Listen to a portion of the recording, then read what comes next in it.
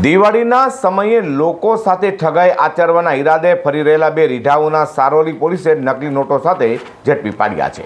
તો રીઢા ઉપર નીચે અસલી નોટ મૂકી વચ્ચે નકલી નોટ મૂકી દેતા હોવાની પણ કબૂલાત કરાઈ છે.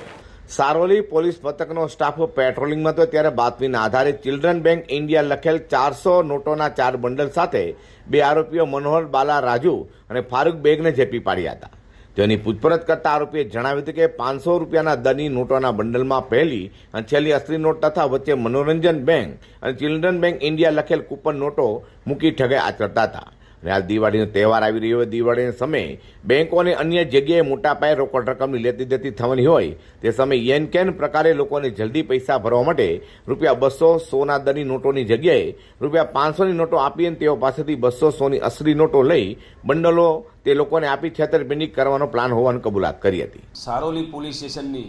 ટીમને મિલકત સંબંધી ગુના બાબતે છેતરપિંડી કરતા વ્યક્તિની ધરપકડ કરી અને મિલકત સંબંધી ગુના બાબતે સારી સફળતા પ્રાપ્ત થયેલ છે. સમગ્ર ઘટનાની હકીકત જોતાં આ કામના આરોપીઓએ આગામી દિવાળીનો તહેવાર આવતો હોય અને માર્કેટ વિસ્તારમાં તેમજ બેન્કોમાં લોકો પૈસાની લેતી દેતી માટે ભીડ થતી હોય તેનો લાભ મેળવી અને હાલમાં પકડાયેલ આરોપી ફારૂક બિસ્મિલા બેગ, કે જે મૂળ મહારાષ્ટ્રના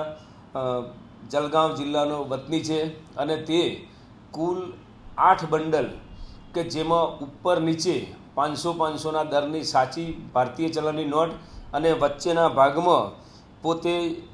ચિલ્ડ્રન બેંક ઓફ ઇન્ડિયા અને મનોરંજન બેંક એવું લખેલ કૂપન નોટો વચ્ચેના ભાગમાં રાખી અને રિઝર્વ બેંક ઓફ ઇન્ડિયાના પેક્ડ મનીની જે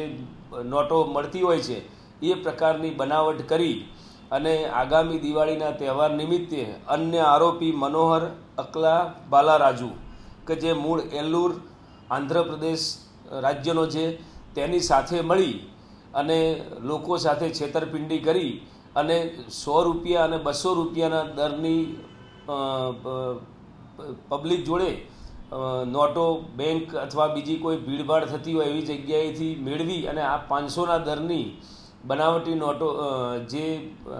નોટો છે એ આપી અને ચીટિંગ કરવા માટે જે કાર્યવાહી કરવાના હતા, તેઓને